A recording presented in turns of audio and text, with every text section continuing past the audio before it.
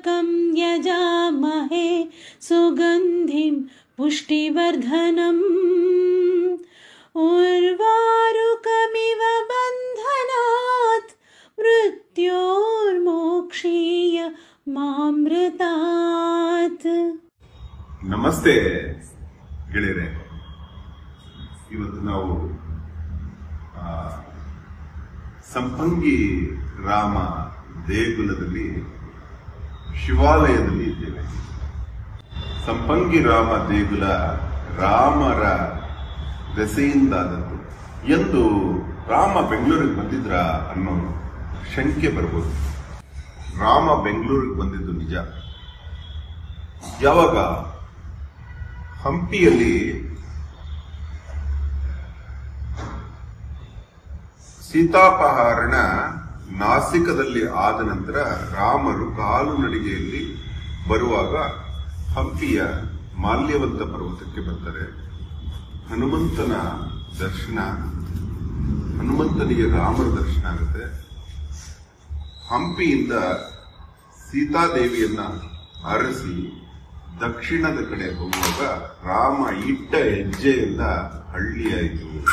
ಅದೇ ರಾಮಾಪುರ, ರಾಮನಗರ, ಹೀಗೆ ಹಾಗೆ ಬರುವ ರಾಮ ಸೀತೆಯನ್ನ ಹುಡುಕುತ್ತಾ, ಸೀತಾಮಾತೆಯನ್ನು ಹುಡುಕುತ್ತಾ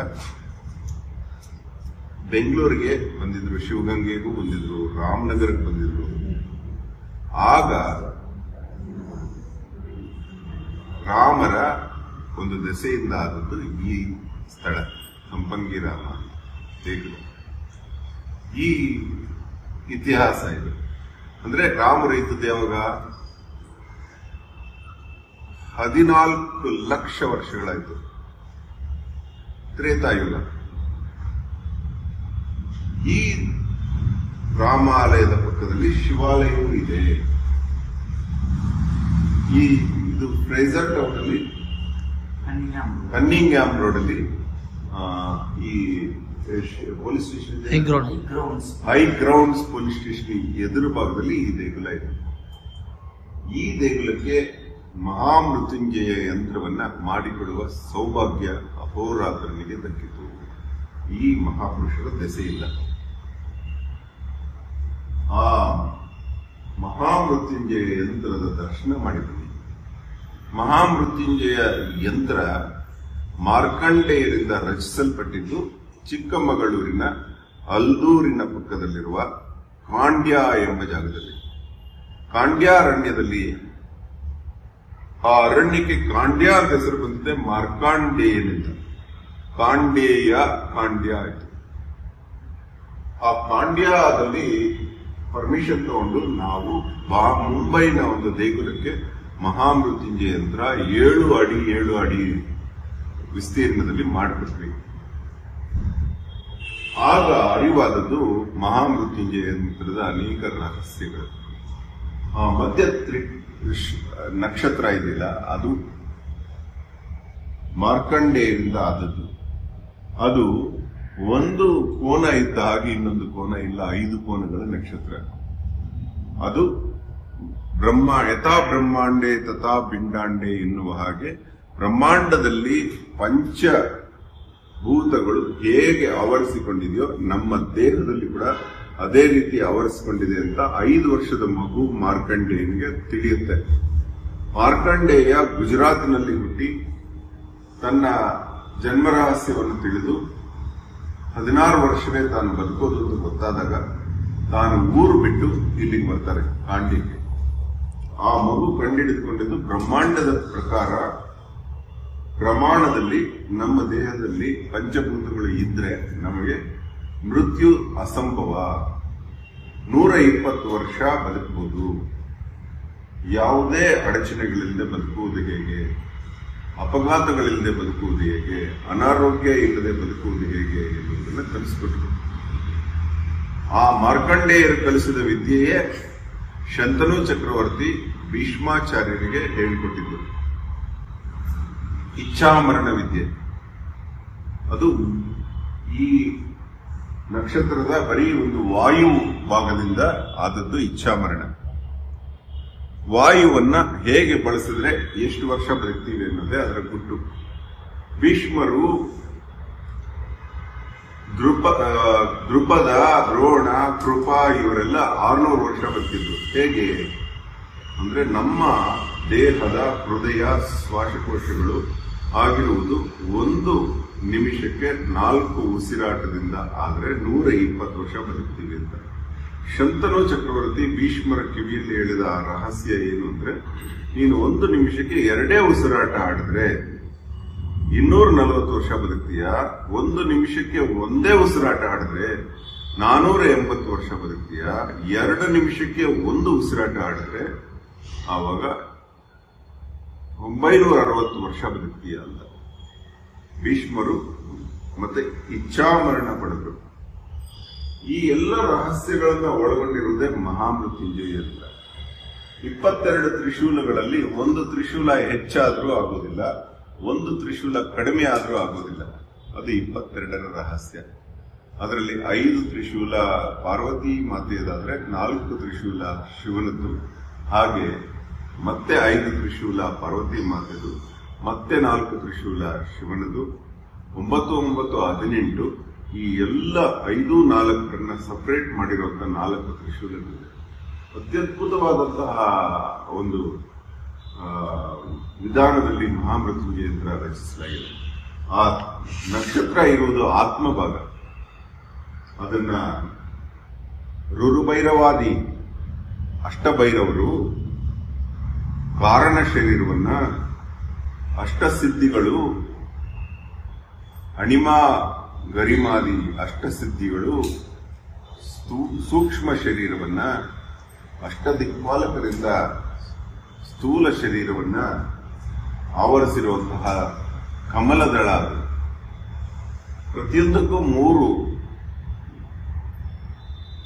ವೃತ್ತಗಳಿದೆ ಸತ್ವ, ರಜಸ್ಸು, ತಮಸ್ಸು ಎಕ್ಟೋಡರ್ಮ್ ಎಂಡೋಡರ್ಮ್ ಮಿಸೋಡರ್ಮ್ ಇದೆಯಲ್ಲ ನಮ್ಮ ಸ್ಕಿನ್ಗೂ ಲೇಯರ್ಸು ಓಝೋನ್ ಲೇಯರ್ಸು ಹೀಗೆ ನಮ್ಮ ದೇಹವನ್ನು ಆವರಿಸಿರುವ ಮೂರು ಪದರಗಳು ಪ್ರತಿಯೊಂದಕ್ಕೂ ಕಾಣುತ್ತೆ, ಮೂರು ಶರೀರಗಳಿಗೆ.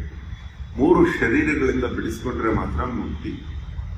ಆದರೆ ಆ ಮುಕ್ತಿ ಪಡೆಯದ ಹಾಗೆ ಶರೀರಗಳನ್ನು ಹೊರಗಡೆಯಿಂದ ಭೇದ ಭೇದ ಮಾಡದೆ ಅರಿವೈಗಳು ಹಾಗಾದಾಗ ಆತ್ಮ ವಂಚಿತನಾಗಿ ಇನ್ನೊಂದು ದೇಹ ಪಡೆದು ಮತ್ತೆ ಅದನ್ನ ಮುಕ್ತಿಕಾರಕಕ್ಕೆ ಕಾರಣಕ್ಕೆ ಬಳಸಬೇಕಾಗುತ್ತೆ. ಆದ್ರೆ ಈ ಇಪ್ಪತ್ತೆರಡು ತ್ರಿಶೂಲಗಳು, ಇಪ್ಪತ್ತೆರಡು ನಾಗಗಳು ಡಮರುಗಗಳು ಓಂಕಾರಗಳು, ಶಿವನ ಸಂಕೇತಗಳು, ಹೊರಗಡೆಯಿಂದ ಯಾವುದೇ ಆಘಾತ ಆತ್ಮಕ್ಕೆ ಆಗದ ಹಾಗೆ ನೋಡಿಕೊಂಡು, ಆತ್ಮ ತನ್ನಷ್ಟಕ್ಕೆ ತಾನೇ ಒಳಗಡೆಯಿಂದ ಭೇದಿಸಿಕೊಂಡು, ಚಿದಾಕಾಶವನ್ನ ತಲುಪುವ ಬಗೆಯನ್ನ ಮಹಾಮೃತ್ಯುಂಜಯ ಯಂತ್ರ ಹೇಳುತ್ತೆ. ಇಷ್ಟ ಮರಣಿ ನನಗೆ ಸಾಕಾಗಿದೆಪ್ಪ, ನನ್ನ ತಗೋಪ್ಪ ಅಂತ ಹೇಳೋ ತರ ಮಾಡುತ್ತೆ. ಆ ಅಂತರ್ ಛೇದ ಮಗು ಹೇಗೆ ತನ್ನ ಜರಾಯು ಪದರಗಳನ್ನ, ಆ ಫೀಟಲ್ ಮೆಂಬ್ರೇನ್ಸ್ ಎಕ್ಸ್ಟ್ರಾ ಎಂಬ್ರಿಯಾನಿಕ್ ಮೆಂಬ್ರೇನ್ಸ್ನ ಭೇದಿಸಿಕೊಂಡು ಜನ್ಮ ಪಡೆಯುತ್ತೋ ಇಲ್ಲಿ ಆತ್ಮ ಈ ಮೂರು ಶರೀರಗಳನ್ನ ಸಮತ್ವದಿಂದ ಭೇದಿಸಿ ಅರೆವೈರಗಳನ್ನು ಗೆದ್ದು ಮೂರು ಗುಣಗಳನ್ನು ಗೆದ್ದು, ಆರು ಮೂರು ಕಟ್ಟಿ ಮೇಲಕ್ಕೆ ಏರಿದವನು ಕಟ್ಟಿ ಅಂತ ಕೃಷ್ಣಾಳ್ ಹೇಳ್ತಾರಲ್ಲ ಹಾಗೆ. ಆ ಮೂರು ಆರುಗಳನ್ನು ಭೇದಿಸಿಕೊಂಡು ಆಚೆ ಬಂದರೆ ಅದು ಮುಕ್ತಿ. ಆ ನಾಗರ ಆಚೆ ಇರೋದೇ ಬ್ರಹ್ಮಾಂಡ. ಬ್ರಹ್ಮಾಂಡ ಅದೊಂದು ಆಯತನ. ನೋಡಿ, ಆಯತನ ಅಂದ್ರೆ ಆವರಿಸಿರುವುದು. ಆ, ಅದು ಒಂದು ಇನ್ವಿಸಿಬಲ್ ಕಾಂಪೌಂಡ್ ವಾಲ್ ಅದು ಅದು ಯಾರಿಗೂ ಅರಿವಿಗೆ ಸಿಗತ್ತು. ಆ ಬ್ರಹ್ಮಾಂಡದ ಒಳಗಡೆ ಸೂರ್ಯ ಕಿರಣಗಳು. ಆ ಸೂರ್ಯ ಕಿರಣಗಳು ಅಂದ್ರೆ ನಮ್ಮ ಸೂರ್ಯ ವಿವಸ್ವಾನನೂ ಆಗ್ಬೋದು, ಅವನ ಸೂರ್ಯ ಮಿತ್ರ ಆಗಿರ್ಬೋದು, ಅವರೆಲ್ಲರ ಸೂರ್ಯ ಮೂಲ ಸೂರ್ಯ ಶ್ರೀಮನ್ ನಾರಾಯಣ ಆಗಿರ್ಬೋದು, ಎಲ್ಲರ ಸ್ವಯಂ ಕಿರಣಗಳು. ಈ ಯಂತ್ರದ ಬಗ್ಗೆ ಕೂಲಂಕುಷವಾಗಿ ಹೇಳ್ತಾ ಹೋದ್ರೆ ದಿನಗಳು ಸಾಲದು. ವರ್ಷಗಳು ಸಾಲದು. ಈ ದೇಗುಲಕ್ಕೆ ಈ ಯಂತ್ರ ಮಾಡಿಕೊಡುವ ಭಾಗ್ಯ ಕರುಣಿಸಿದ ಇವರಿಗೂ ಪಾದಾಭಿವಂದನೆಗಳು. ಅದನ್ನ ಕೊಡುವ ಅದೃಷ್ಟ ಆ ದೇವನೇ ಒದಗಿಸಿದ್ದಾನೆ. ಹಾಗೆಯೇ ನಮ್ಮ ಶಿವ ಇಲ್ಲಿದಂತ ತುಂಬಾ ಸುಂದರೇಶ ಅಂತ ತುಂಬಾ ಸುಂದರ. ಆ ಶಿವಾಧಿಕ ಲಿಂಗ ಅಂತ. ನೋಡಿ. ಬ್ರಹ್ಮ ಭಾಗ ಎಷ್ಟಿದೆಯೋ, ಪಾರ್ವತಿ ಭಾಗ ಅಷ್ಟಿದೆ ಶಿವನ ಭಾಗ ಮಾತ್ರ ಒಂದೂವರೆ ಅಷ್ಟಿದೆ ಅದನ್ನ ಶಿವಾಧಿಕ ಲಿಂಗ ಅಂತಾರೆ. ಈ ದೇವರ ಬಳಿ ಬರುವವರಿಗೆ ಅಧಿಕ ಲಾಭಗಳು ಉಂಟಾಗುತ್ತೆ ಅಂತ. ಈ ಶಿವಾಧಿಕ ಲಿಂಗ ತನ್ನನ್ನು ಇನ್ನಷ್ಟು ಸುಂದರಗೊಳಿಸಲಿಕ್ಕೆ ಶ್ರೀಚಕ್ರದಿಂದ ಆವೃತವಾಗಿ ಒಂದು ಪಂಚಧಾತುವಿನ ಕವಚ ಮಾಡ್ಕೊಂಡಿದ್ದಾರೆ. ಆ ಶ್ರೀಚಕ್ರದ ಪಂಚದಾತ ಕವಚದ ಮೇಲೆ, ನೆತ್ತಿಯ ಮೇಲೆ ಶ್ರೀಚಕ್ರದ ರೇಖೆಗಳಿರುವಂತಹ ಬೆಳ್ಳಿಯ ಪದಕ ನೋಡಬಹುದು ಇವೆಲ್ಲವುಗಳ ಪರಿಚಯ. ಮತ್ತೆ ಇವರ ಬಳಿ ಇನ್ನೂ ವಿಶೇಷ ಈ ಪಳನಿ ಸುಬ್ರಹ್ಮಣ್ಯ ಇದಾರಲ್ಲ ಹಾಗೆ ಇವರ ಅರವತ್ನಾಲ್ಕು ಪಾಷಾಣಗಳಿದೆ. ಅಂದ್ರೆ ವಿಷಗಳು ಆಯುರ್ವೇದದಲ್ಲಿ ಅರವತ್ನಾಲ್ಕು ವಿಷಯಗಳಲ್ಲಿ ಅತಿ ಮುಖ್ಯ ಒಂಬತ್ತು ವಿಷಗಳು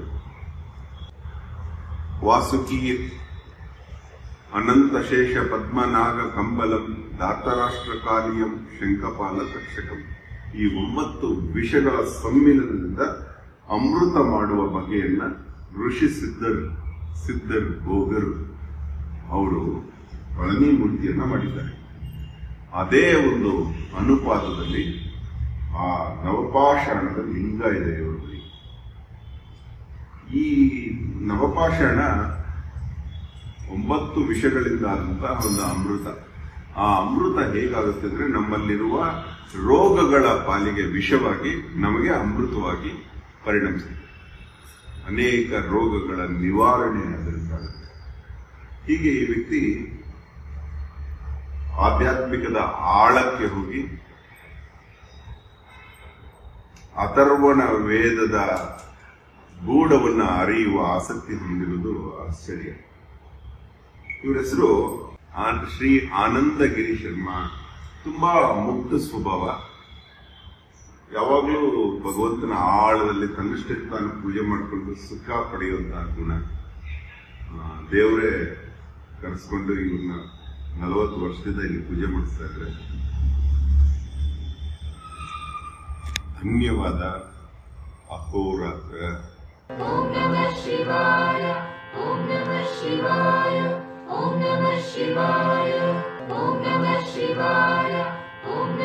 ಶಿವಾಯ ಓಂ ನಮಃ ಶಿವಾಯ